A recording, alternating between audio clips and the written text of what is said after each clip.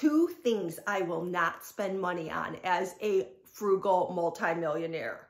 Number one, I do not buy designer, high-end designer clothing and handbags. I will not be shopping at South Coast Plaza getting my summer wardrobe from, from Chanel.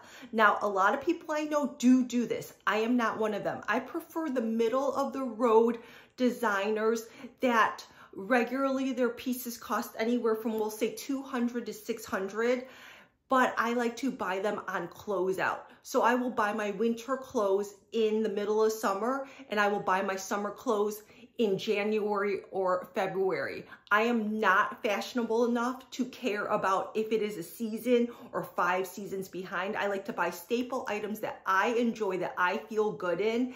And that is how I stay chic looking, coastal style in Orange County without breaking the bank. Often these are final sales, so that can be an issue. That means you cannot return them, but most of the time I win, and if it is final sale and I can't return it, I give it away, and that's just fine. Number two, I hate spending money on dining out. I feel like I make it better at home. This is especially true for breakfast. I am almost always disappointed when we go out to breakfast. It does not matter how good it looks.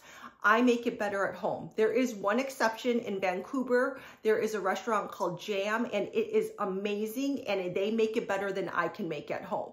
Beyond this, we do dine out whenever we travel, which is frequently, and this is when I hate looking at the check because I know what it costs me to make it at home. And oftentimes when I make it better and we just paid over a hundred, two hundred dollars for a meal for my family, I am not happy. That is not a pleasant time for travel. And number three, nails. I do not pay for nails. I know that this is a joy for some women. If it's in your budget, fine. Otherwise, I think it's a complete waste of money.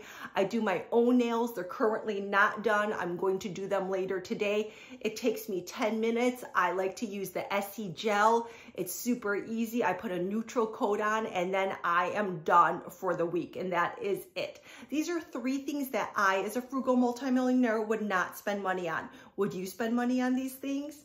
I'm Kat, an actual Orange County housewife, self-made multimillionaire. Like and follow for more.